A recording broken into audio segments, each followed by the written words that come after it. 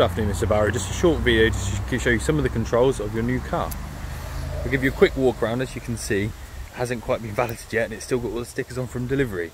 But before it gets to you, it'll have a full valet and have the paint protection pack all applied and fitted. As you can see, it's a great pulse red.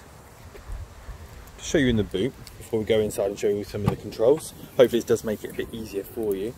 We've got the parcel shelf, as you can see you've got the diamond bright pack, you've got the mats, they'll be fitted after they're cleaned, and you do have the underliner tray. Underneath, you see it comes with inflation kit, you've got a luggage net there, and you've got the tow ropes.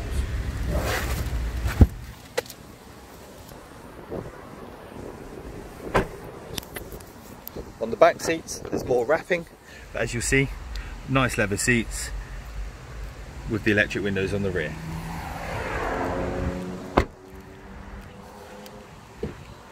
Moving forward to the front driver's seat, start with the door. See you've got auto automatic wipers, wing mirrors, sorry, get my words right. Um, left and right controls to adjust it. You've got your central locking, unlock and lock. Um, cancel the rear windows in the back so children can't play around with them and your normal controls for the electric windows as well. You also notice you've got an upgraded sound system in the Krell.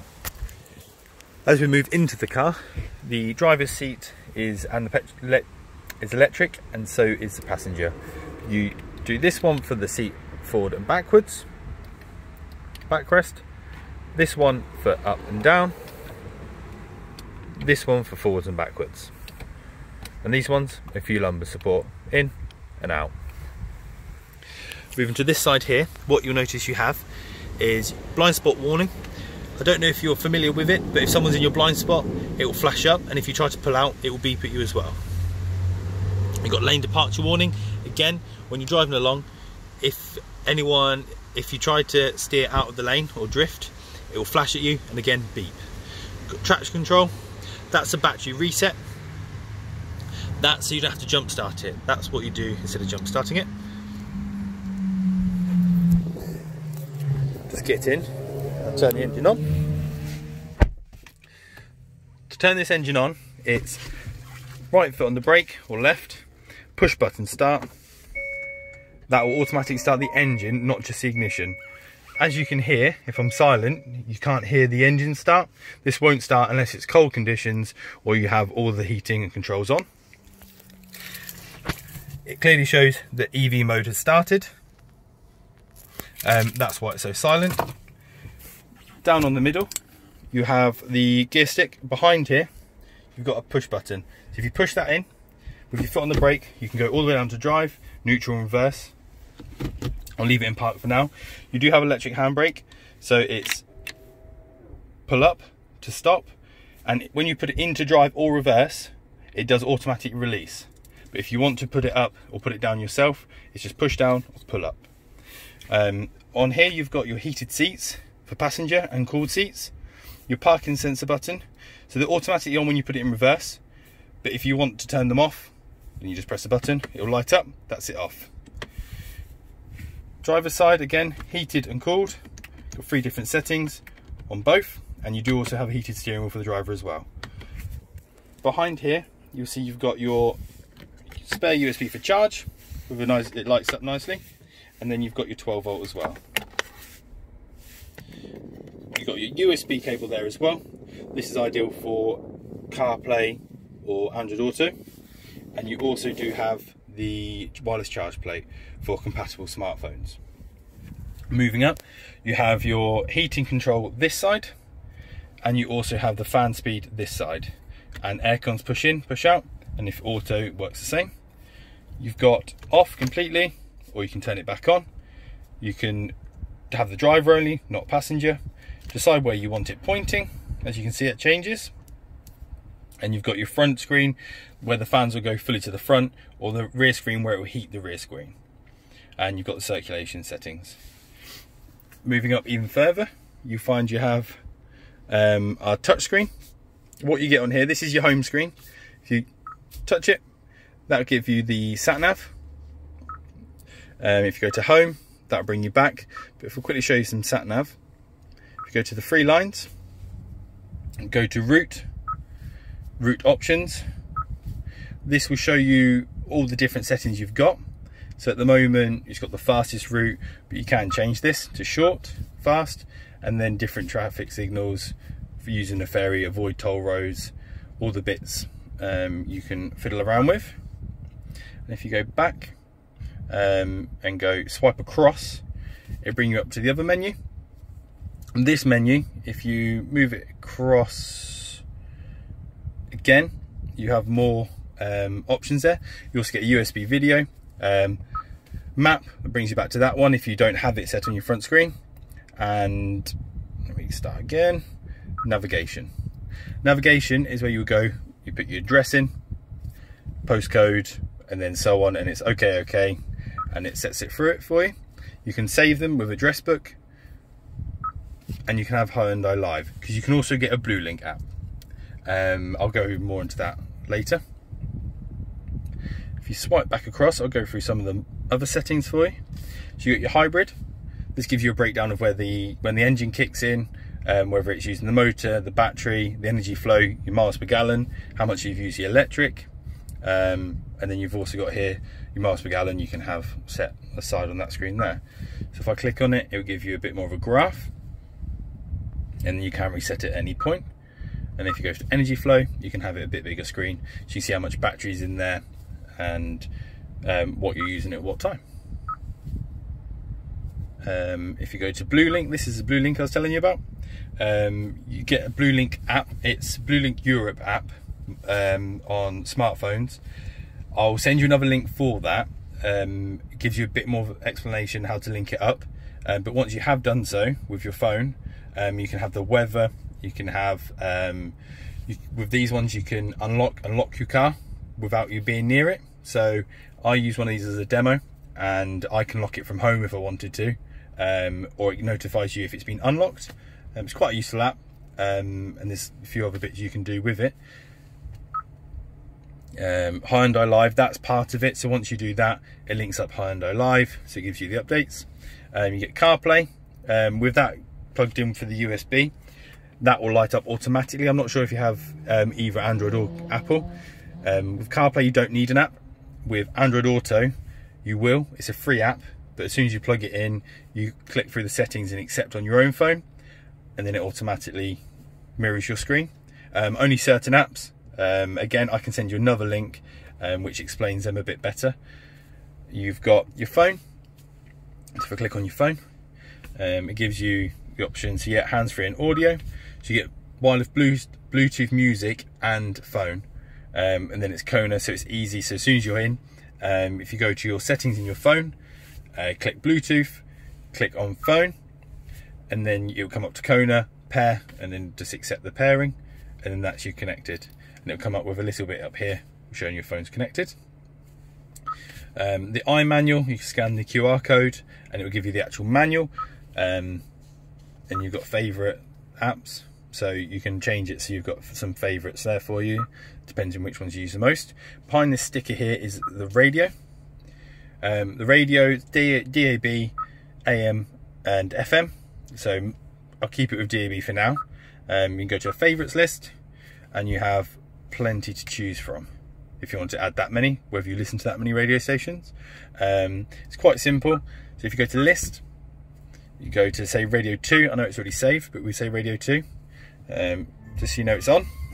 If you go to favourites, press and hold, adds it again, and you can do that the whole way through.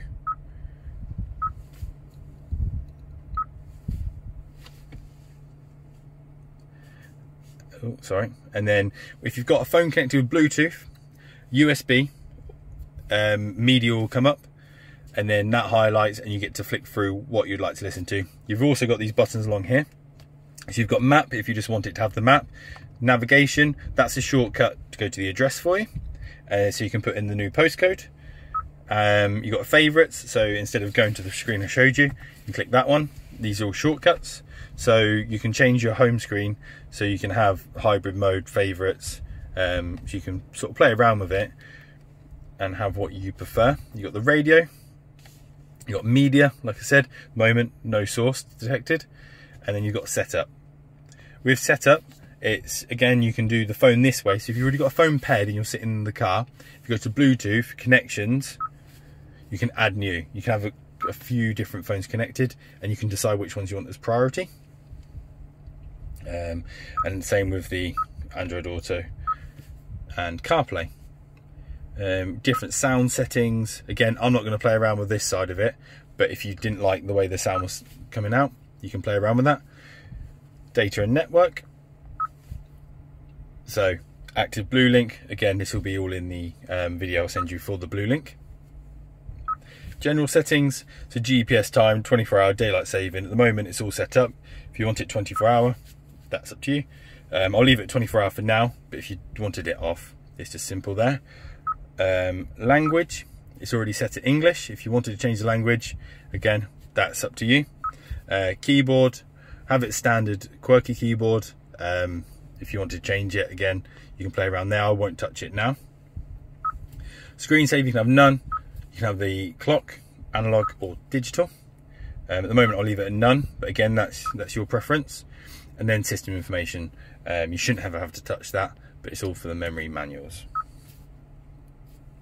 Um, if you go to advanced this will give you different um, sort of map settings different steering wheel mode buttons um, you can have a play around with that. I won't do it today because um, I don't want to change any of the settings from default. I never have with any of the demos I've been in and they work perfect. But if you did want to have a play around, because I'm sure we'll probably have quite a bit of time on our hands, then feel free. Um, if we scroll across, and it's voice recognition. So with that, um, you can talk to the car and that's how you tune it into getting ready to hear your voice. If we come back out of that, I'll swipe again. Um, we've been through these and we've been through this side. USB video, I can't remember if I touched on it, but if you have a USB attached into here, just a normal USB memory stick, um, if you have videos, films, anything like that on there, you can plug it in. As long as you're not driving, the car's in park, you can actually play movies or whatever you'd like, videos on this screen here. But as soon as you put it into drive, the picture cuts out to black and you only hear the sound. Maybe a useful bit of information if you ever did want to use it. Um, here you've got two cup holders. You've got two keys, identical. There's no master and um, not master. Here, hold. That won't automatically open the boot. It's not an electric boot, but what that will do is just unlock the boot for you. Um, it's keyless, so it's a push button on the door. I'll show you when I get out how that works for leaving the car. And then underneath um, the battery, if you slide that across and pull, it gives you the actual key to get in.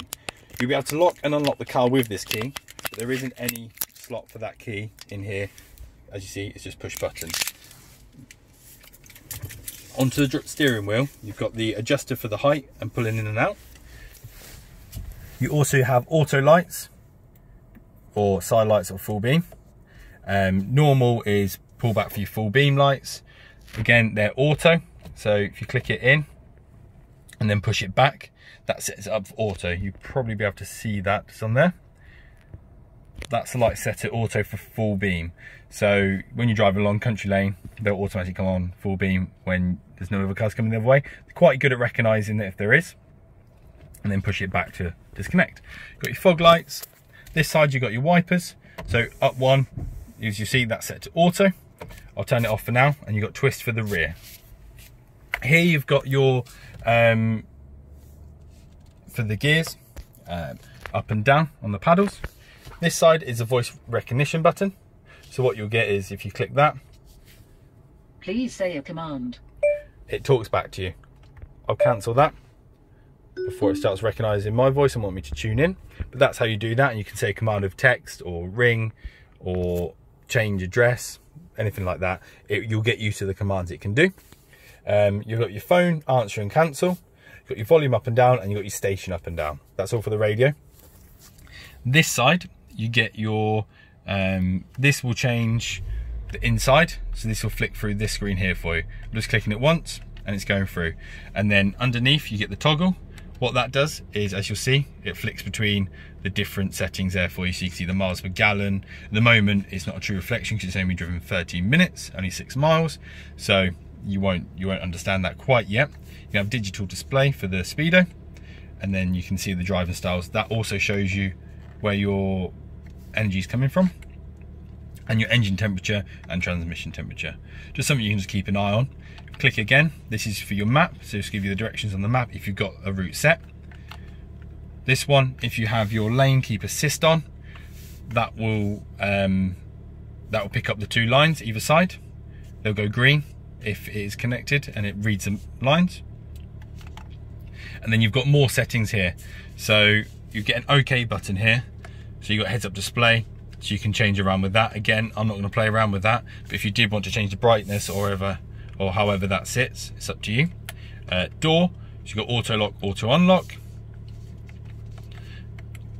Lights, one touch indicator, head up lamp, so one touch indicator, you can just do the lane change. So that's just by knocking it up without actually putting it full on. That's like the lane change. Sound. So it will dip the volume in park when you put it when you're parking sorry, so when you put it in reverse. Convenience, welcome mirrors, wireless chargers all connected, wipers, auto rear wipers. So that's all set up ready. So this is part of the PDI. That's why I'm not playing around with it. Service interval. Um, so again, it's six, 361 days or 621 miles. Uh, we go back. Other features, fuel economy, tyre pressure, that's all in there as well. So there's even more settings than that main screen. Um, what you have here on this side here, that's your fuel. And this side here, that's the battery level. You don't have to worry about that because you don't have to plug it in. You'll see that fluctuate from full to quite low. It never really goes to zero. Um, but more you brake, or if you sharp brake, it will jump up. And more you hard accelerate, it goes down. You should watch how much battery you've got and you'll see the EV, as you're driving along, cruising along, you'll see EV pop in and out. At the moment, EV's not in because the engine's just kicked in because we sat here, the aircon's on um, so it will fluctuate in between. Um, the dial, it will drop into charge when you're braking, um, and it will sit normally in eco. Unless you put your foot to the floor, it will go into power. That's when the engine will kick in again. Um, and you've got that side there. Bottom right, you've got how many miles it's done. Bottom left is the temperature, and at the top is how much fuel you've got left. It also shows you, if put foot on the brake, that you're in reverse. The sensor grid comes up, and you also get the rear camera put it into neutral, it comes into neutral there, and put it into drive, it goes to drive there. Put it back up into park and pull the handbrake up.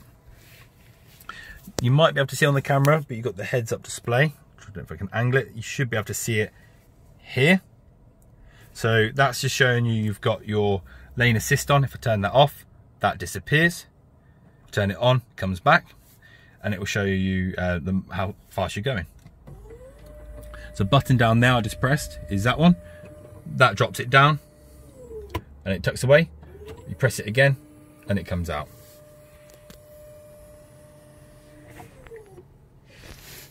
What you also get up here is you get the sunglasses holder and you get your lights. So I'll leave them on so when you open the doors they will automatically come on if you want to use them manually. It's just push and you've got the rear one as well. In the glove box, this will be organised better for you but you have your pack with the service book. You also have some manuals there for you as well. And you do have some spare nuts and the lock and wheel nut key. Like I say, this will be re-sanitized and um, when they wash it, I'll make sure the book packs are all tidy and all in the folder for you.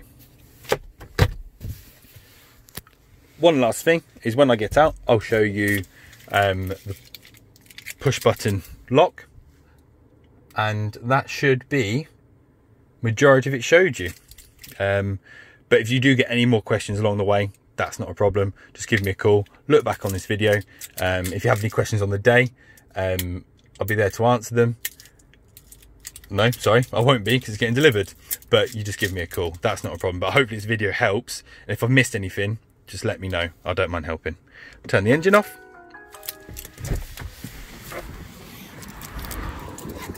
And then on here, what you get is See where you put the key, if you just want to lock it or lock it, push button, and then put some mirrors in, doors locked. You have to be a meter away from the car within a metre away from the car for it to work. If, you, if the keys are any further away, it will not pick it up. Hopefully this has helped. I look forward to getting the car to you.